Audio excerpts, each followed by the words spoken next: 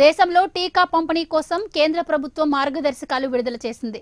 Corona vaccine అందుబాటులోకి వస్తే vaccination కార్యక్రమానికి తీసుకోవాల్సిన చర్యలను వివరిస్తూ అన్ని రాష్ట్రాలు కేంద్రపాలిత ప్రాంతాలకు కేంద్ర ఆరోగ్య మంత్రిత్వ శాఖ మార్గదర్శకాలను జారీ చేసింది. కొత్త సంవత్సరంలో మొదలయ్యే ఈ వ్యాక్సినేషన్ కార్యక్రమం తొలి విడత జూలై వరకు కొనసాగుతుందని ఈ విడతలో ఇరవై ఐదు నుంచి ముప్పై కోట్ల మందికి టీకా ఇవ్వాలని లక్ష్యంగా నిర్ణయించినట్లుగా కేంద్ర ఆరోగ్య శాఖ తెలిపింది.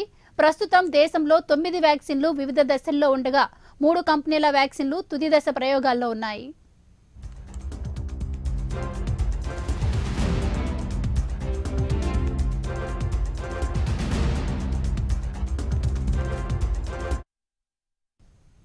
కేంద్ర ప్రభుత్వం ఇచ్చే కరోనా వ్యాక్సిన్ కోటాను అనుసరించి ఏపీలో తొలి దశను ఒక నెల రోజుల వ్యవధిలో పూర్తి చేయాలని ఆంధ్రప్రదేశ్ ప్రభుత్వం నిర్ణయించింది.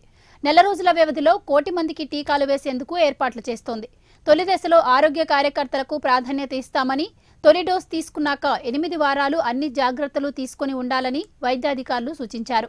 వ్యాక్సినేషన్ కోసం రాష్ట్ర వ్యాప్తంగా నాలుగు వేల ఏడు వందల అరవై రెండు కేంద్రాలను ఏర్పాటు చేయనుండగా ప్రతి కేంద్రంలో ఇద్దరు చొప్పున మొత్తం తొమ్మిది వేల ఏడు వందల ఇరవై నాలుగు మంది వ్యాక్సినేటర్లను అందుబాటులోకి తేనున్నారు.